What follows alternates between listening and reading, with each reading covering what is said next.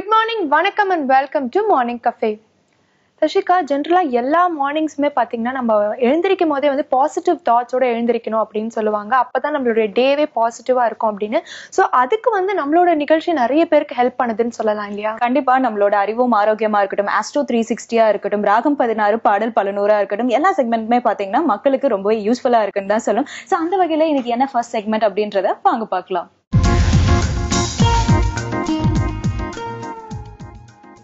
ஓம் ஸ்ரீம் தத்புருஷாய வித்மகே பக்கரதுண்டாய தீமகி தன்னோ தந்தி பிரசோதயா ஓம் ஆதித்யயஷ சோமாய மங்களாய புதாயஷ குரு சுக்கர சனியப் யட்ச ராகவ கேதவ நமக புது யுகம் நேயர்களுக்கு ராஜயோக அன்பு வணக்கம் நிகழ்ச்சியில் பயணிக்கும் ஒவ்வொருவருக்கும் இன்றைய நாள் இனிமையானதாகவும் நன்மையானதாகவும் அமைய வேண்டிய உண்மையான பிரார்த்தனையோடு உங்கள் ராஜயோகம் டாக்டர் கே ராம். நேயர்களே ஆஸ்ட்ரோ த்ரீ சிக்ஸ்டி நிகழ்ச்சியில் பில்லி சூன்யம் மாந்திரிக தாந்திரிக சம்பந்தப்பட்ட விஷயங்களை தெரிஞ்சுட்டு வந்துட்டு இருக்கிறோம் அந்த வகையில் தெரிஞ்சோ தெரியாமலோ ஒரு சில ஜாதகத்துக்கு இந்த மாதிரியான கெடுதல் பண்ணியிருந்தாங்க அப்படின்னா அதாவது மாந்திரிகமோ அல்லது பில்லி சூன்யமோ செஞ்சு வச்சிருந்தாங்க அப்படின்னா அதிலிருந்து தப்பிப்பதற்கு வேறு வழியே இல்லையா அப்படிங்கிற கேள்வியோடு உள்ள பாக்கியவான்களுக்கு நான் சொல்லக்கூடியது. இந்த உலகத்தில் எந்த ஒரு விஷயமாக இருந்தாலும் அதற்கு வந்து மாற்று விஷயம் அதாவது தீர்வு அப்படிங்கிறது நிச்சயமாக இருந்துகிட்டு இருக்குதுங்க. நான்கு திசைகளிலும் உங்களுக்கு கதவு மூடி இருந்தாலும் ஏதாவது ஒரு வகையில் உங்களுக்கு வெளிச்சம் கொடுக்கக்கூடிய அமைப்புல தான் இந்த பிரபஞ்சம் படைக்கப்பட்டிருக்குது அப்படிங்கிறது யதார்த்தமான உண்மை. பொதுவாகவே கெடுதல் அப்படிங்கிற சூழ்நிலை பண்றவங்க வந்து உங்களுடைய குலதெய்வத்தை அதாவது வம்சாவளி தெய்வமாக விளங்கக்கூடிய குலதெய்வத்தினுடைய பெயரை தெரிஞ்சுக்கிட்டு அந்த குலதெய்வத்தையே வந்து பார்த்தீங்கன்னா கட்டி போடக்கூடிய அல்லது குலதெய்வத்துடைய அனுகிரகம் உங்களுடைய குடும்பத்துக்கு கிடைக்காம இருக்கிறதுக்கு உண்டான மந்திரங்களை செய்துதான் இந்த மாதிரியான விஷயங்களை செய்வாங்க. அப்படி இருக்கும் பொழுது அதிலிருந்து நிவர்த்தி கிடைக்கிறதுக்கு வெளியில் வர்றதுக்கு ஏதாவது வழி இருக்குது அப்படின்னா நிச்சயமா முதல் முதல்ல உங்களுடைய குலதெய்வம் தான் யாராக இருந்தாலும் தன்னுடைய குலதெய்வத்தை மறக்காம அதாவது வருஷம் ஒரு முறையாவது உங்களுடைய குலதெய்வத்து கோயிலுக்கு குடும்பத்தோடு சென்று வரக்கூடிய சூழ்நிலையை ஏற்படுத்திக்கிட்டீங்க அப்படின்னா இந்த மாதிரியான கெட்ட விஷயங்களை அவ்வளவு எளிதாக செய்ய முடியாது. அப்படியே செய்யக்கூடிய ஒரு சூழ்நிலை ஏற்பட்டிருந்தால் கூட உங்களுக்கு முன்னாடியே தெரியக்கூடிய இந்த மாதிரி கெடுதல் நடக்க போகுது. யாரோ ஒருவர் உங்களுக்கு மறைமுகமாக இந்த மாதிரியான மாந்திரிகம் செய்யறாங்க அப்படிங்கிற விஷயத்தை உங்களுடைய மனசுக்கு புரிகிற மாதிரி ஏதாவது ஒரு வகையில் உங்களுக்கு குலதெய்வம் காட்டிரும் அப்படிங்கிறது யதார்த்தமான உண்மை. அதே அதே மாதிரி இந்த குலதெய்வத்து கோயிலில் வந்து குடும்பத்தோடு குலதெய்வத்துக்கு போகிறீங்க அப்படிங்கிறத விட அந்த குலதெய்வத்து கோயிலுக்கு வந்து அதாவது உங்களுடைய சந்ததிக்கு அதாவது குழந்தை பிறந்தது அப்படின்னா பதினோரு மாதம் ஆகும் பொழுது முதல் முடி என்று சொல்லக்கூடிய அந்த தலைமுடியை வந்து காணிக்கையாக கொடுக்கறது. குலதெய்வத்துக்கு கொடுக்கறது மிக மிக நல்லதாக இருந்துகிட்டு இருக்குதுங்க. எப்படின்னு கேட்டிங்கன்னா பொதுவாகவே அதாவது சில பேர் வந்து பார்த்தீங்கன்னா அந்த புத்தர பாக்கியம் தாமதமாகும் பொழுது கண்ணுக்கு பார்த்த தெய்வ எல்லாம் வேண்டிக்குவாங்க. எனக்கு ஆண் குழந்தை பிறந்தா இந்த கோயிலுக்கு முடிக்காணிக்க செலுத்துறேன். அல்லது எனக்கு பெண் குழந்தை பிறந்தா இந்த கோயிலுக்கு முடிக்காணிக்க செலுத்துறேன். எனக்கு ஏதோ ஒண்ணு ஆணோ பெண்ணோ ஏதாவது ஒண்ணு எனக்கு வந்து ஒரு குழந்தைன்னு ஒண்ணு இருக்கணும். குழந்தை இல்லாம இருந்தா எனக்கு வெளியில தலை காட்ட முடியல. அதனால எனக்கு ஆண் குழந்தை பிறந்தாலும் பெண் குழந்தை பிறந்தாலும் இந்த கோயிலுக்கு நான் முடிக்காணிக்க செலுத்துறேன் அப்படின்னு ஆர்வ மிகுதியில பாக்குற கோயில எல்லாம் வேண்டிக்கிறாங்க. நீங்கள் எத்தனை கோயில்ல வேண்டுதல் வச்சுக்கிட்டாலும் சாஸ்திர ரீதியாக அது தவறு கிடையாது. தாராளமா வேண்டுதல் வச்சுக்கலாம் பிரார்த்தனை வச்சுக்கலாம் முடி கொடுக்கலாம். கொடுக்கலாம் ஆனால் முதல் காணிக்கை உங்களுடைய வம்சாவளி தெய்வமாக விளங்கக்கூடிய குலதெய்வத்துக்கு இருந்துகிட்டு இருக்கணும் அப்படிங்கிறது தான் உண்மையான விஷயம். அது கூட வந்து தாயார் இப்போ நிறைய பேர் வந்து பார்த்தீங்கன்னா திருமணம் ஆனதுக்கப்புறம் கணவருடைய குலதெய்வத்தை மட்டும்தான் கணக்கில் எடுத்துக்கிறாங்க.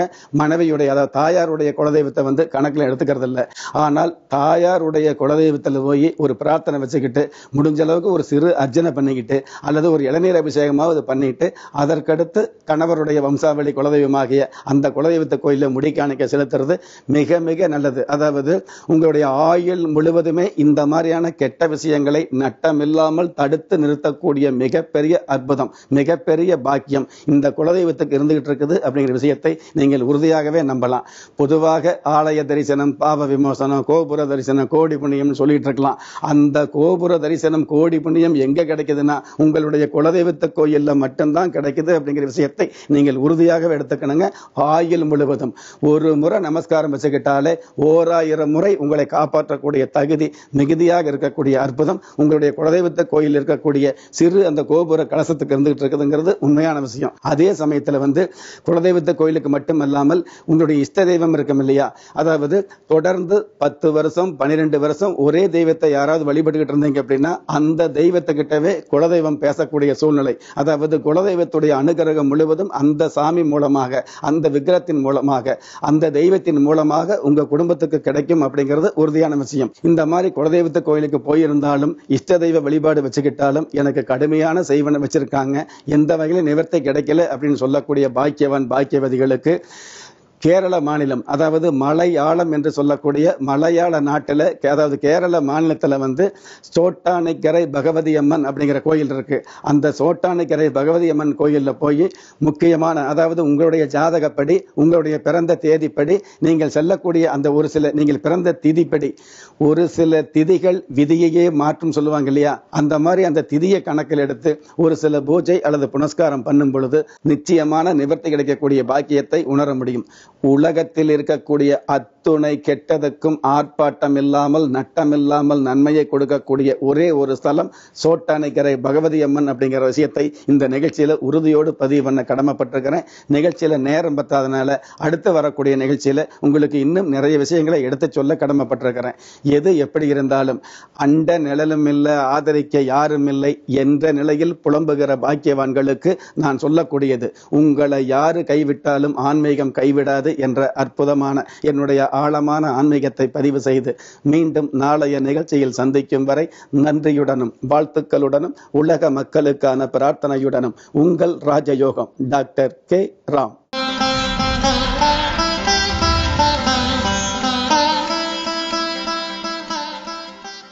शिवशक्त्या युक्तो यति भवति शक्तप्रभवितुम्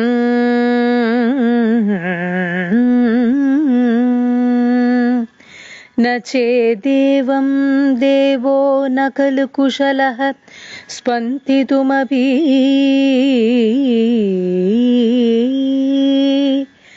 अतस्त्वाम् आराध्याम् हरिहरविरिञ्जादिभिरभि प्रणन्तुं स्तोतुं वा? कथमकृतः पुण्यः प्रभवति?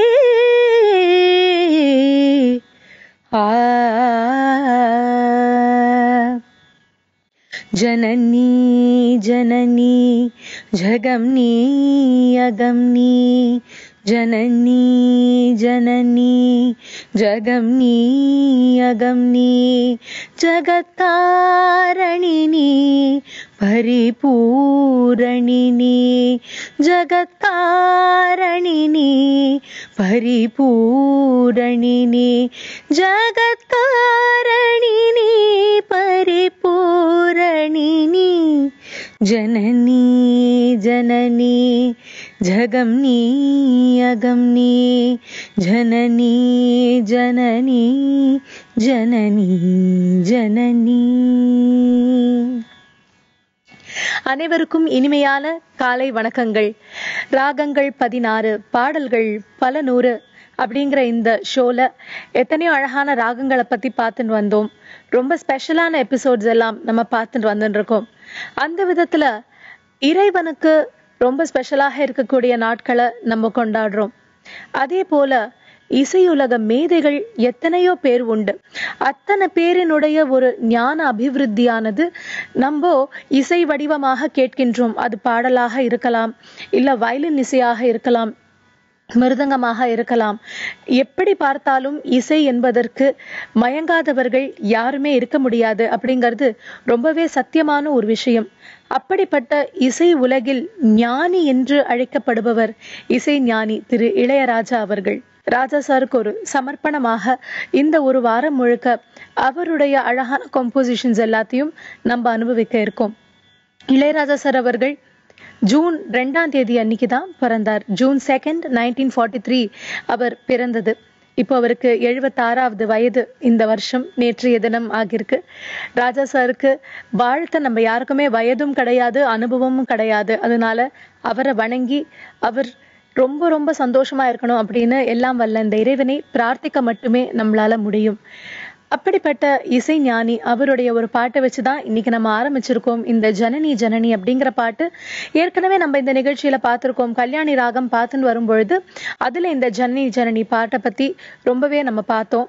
அப்படிப்பட்ட ஒரு பாட்டு இந்த பாடல் இருக்கே எந்த ஒரு இசை நிகழ்ச்சியாக இருக்கட்டும் அந்த இசை நிகழ்ச்சியில முதல்ல பாடக்கூடிய ஒரு பாட்டாக இந்த பாட்டு இருக்கு. நிறைய திரை இசை மேடைகள்ல பார்க்கும் பொழுது இந்த ஜனனி ஜனனி நிறைய கேட்கலாம் நம்ம. அதே போல இன்னைக்கு நம்ம பார்க்க இருக்கிறது ராஜா சாருடைய கர்நாடிக் ஜீனியஸ் எப்படி இருக்கு அப்படிங்கிறது தான் நம்ம சொல்றதுக்கு ஒண்ணுமே கிடையாது. ஏன்னா எல்லா விதமான மியூசிக்லயும் நமக்கு ரொம்ப அழகான பாடலை கொடுத்தவர் இசைஞானி இளையராஜா அவர்கள். சலங்கை ஒலி படம் எடுத்துட்டோம்னாக்க அதுல ஆல்மோஸ்ட் எல்லா பாட்டுமே ஹண்ட்ரட் பர்சன்ட் அந்த ஒரு கிளாசிக்கல் பேஸோடு இருக்கக்கூடிய பாடல்கள் தான் ஃபார் எக்ஸாம்பிள் எடுத்துட்டோம்னா ஓம் நமச்சிவாயா. ஓம் நமச்சிவாயா. இந்த பாட்டு முழுக்க முழுக்க அந்த ஹிந்தோட ராகம் எப்படி இருக்கணுமோ அது போல கொடுத்த பாட்டு. அதே போல சிந்து பைரவிங்கிற படம் எடுத்துண்டா. அதுல எத்தனை அழகழகான பாடல்கள். அதுல பார்க்கும் பொழுது ஒரு பாட்டு ரொம்ப அழகா இருக்கும். ஆஹ் சுஹாசினி மேடம் ஸ்டேஜ்லயே வந்து சேலஞ்ச் பண்ணக்கூடிய ஒரு பாட்டு. அத்தனை அழகா அந்த கர்நாடிக் மியூசிக்கை இந்த மாதிரியும் கொடுக்க முடியும் அப்படின்னு காமிச்ச ஒரு பாட்டு.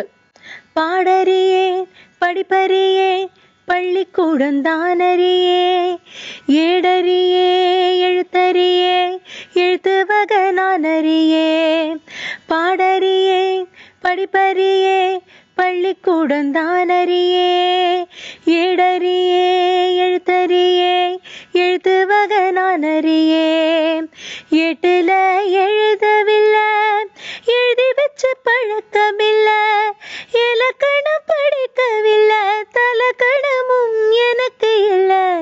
பாடறியே படிப்பறியே பள்ளிக்கூடம் தானறியே ஏடறியே எழுத்தறியே எழுதுவக நான் அறியேன் இந்த பாட்டு எடுத்துண்டா? இந்த சாரமதி அப்படின்னு சொல்லக்கூடிய ராகமானது. மரிமரி நின்னே அப்படிங்கிற பாட்டை வச்சுதான் ஆரம்பிக்கும்.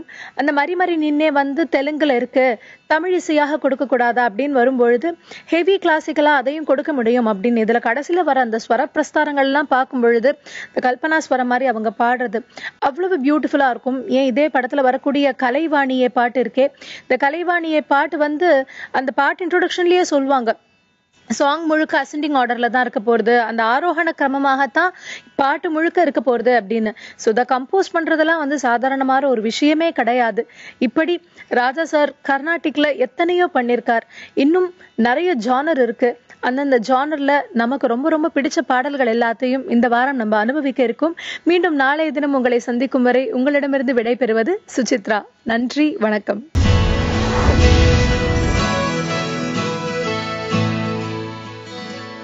ஓம் அகத்தீசாய நம. நேயர்கள் அனைவருக்கும் அன்பான காலை வணக்கம். அறிவோம் ஆரோக்கியம். இந்த நிகழ்ச்சியின் மூலமாக நம்முடைய ஆரோக்கியத்தை வளர்ப்பதற்கான வழிமுறைகளை தெரிந்து கொண்டு வருகிறோம். அந்த வகையில் இன்றைக்கும் ஒரு மூலிகை தாவரத்தினுடைய மருத்துவ குணத்தை தெரிந்து பயன்படுத்துவதற்கு முன்னதாக சித்தர்கள் ஞானிகள் மகான்கள் அருளிய பாடல் நஞ்சுண்ண வேணாவே நாயகன் தார் பெறவே நெஞ்சு மலையாதே நீ ஒன்றும் சொல்லாதே. பராபரமானதடி பறவையாய் வந்ததடி. தராதரம் ஏழ் புவியும் தானே படைத்ததடி. நாத வேதமடி அகப்பே நன்னடம் கண்டாயோ? அகப்பை சித்தரனுடைய பாடல். நஞ்சுண்ண வேண்டாவே நாயகன் தாழ் பெறவே இறைவனுடைய திருவடியை சென்று சேர வேண்டும் என்றால் காயச்சித்தி என்று சொல்லக்கூடிய இந்த தேகம் தூய்மையாக இருந்து காயம் அழியா நிலைக்கு கொண்டு வந்து செல்ல வேண்டும். அதற்கான பல்வேறு வழிமுறைகளை ஒவ்வொருவரும் அவர்களுடைய அனுபவத்திலே சொல்லிக் கொண்டிருக்கிறார்கள். நஞ்சுண்ண வேண்டாவே நாயகன் தாழ் பெறவே. நெஞ்சு மலையாதே நீ ஒன்றும் சொல்லாதே. இறைவன் பராபரமானவன் எங்கும் நிறைந்தவன் அவன் உனக்குள்ளேயும் இருக்கின்றான்.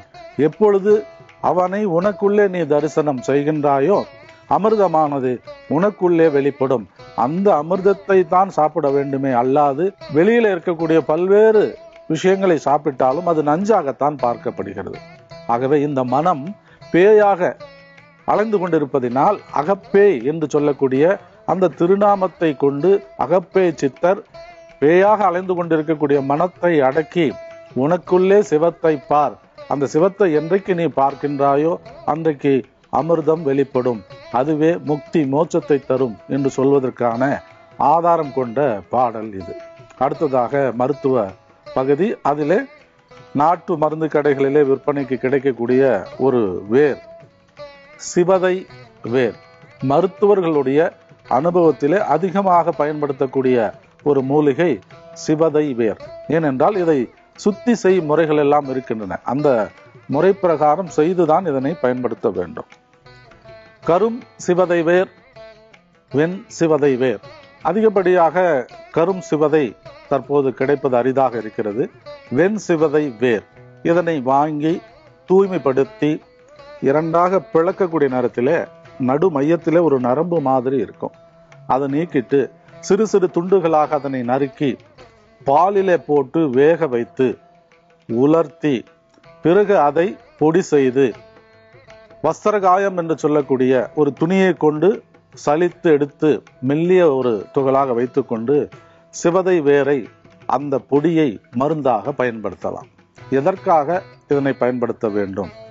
கழிவு வெளியேற்றம் மல ஜல கழிவு வெளியேற்றம் முறையாக நடக்க வேண்டும். அவ்வாறு நடக்காத காலகட்டத்திலே தான் பல்வேறு வகையான ஆரோக்கிய குறைபாடுகள் ஏற்படுகின்றது. குறிப்பாக மலச்சிக்கல் என்று வைத்துக்கொண்டால் இந்த உடல் இயக்கத்திற்கு தச வாயுக்கள் ஆதாரமாக இருக்கின்றன. பத்து வாயுக்கள் இருக்கிறது. இந்த அபான வாயு என்று சொல்லக்கூடிய அந்த அபான வாயு முறையாக செயல்படவில்லை என்றால் மலச்சிக்கல் ஏற்படும். அபான வாயு மேல் நோக்கி வருகிறது என்றால் பல்வேறு உடல் உபாதைக்கு நாம் ஆளாக வேண்டியதாக இருக்கும். இப்போ ஃபிட்ஸ்ன்னு ஆங்கிலத்தில் சொல்லக்கூடிய காக்கை வலி. இது வருவதற்கு இந்த அபான வாய்வு ஒரு காரணமாக இருக்கலாம்.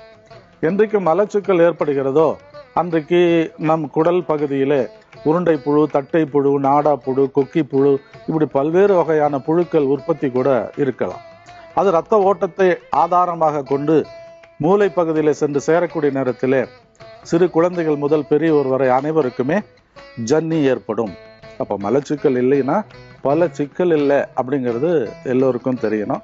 அதற்கு மிகச்சிறந்த ஒரு மருந்தாக சிவதை வேர் ஆயுர்வேத மருத்துவத்திலே திருவிருத் அப்படின்னு ஒரு பொடி விற்பனைக்கு கிடைக்கும்.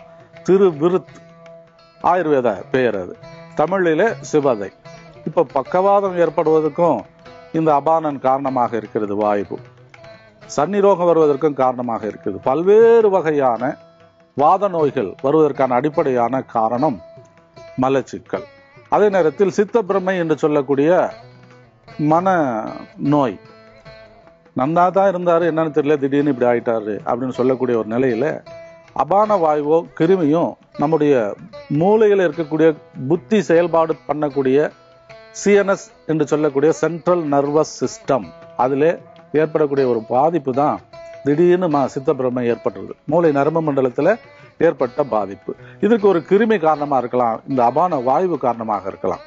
அப்படிப்பட்ட கிருமியையும் வாய்வையும் தடுக்கக்கூடிய தன்மை வேணும் அப்படின்னா குடல் சுத்தமாக இருக்கணும். இப்போ குடல் சுத்தமாக இருக்கணும் அப்படின்னா எப்படி கடுக்காய் ஒரு நல்ல மருந்தாக இருக்கிறதோ அந்த வகையிலே சிவதை வேர் என்பதும் மிகச்சிறந்த ஒரு மருந்தாக இருக்கும்.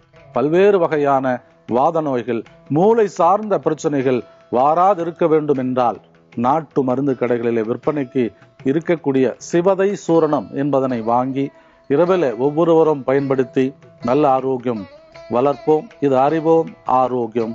மீண்டும் சந்திப்போம். நன்றி வணக்கம்.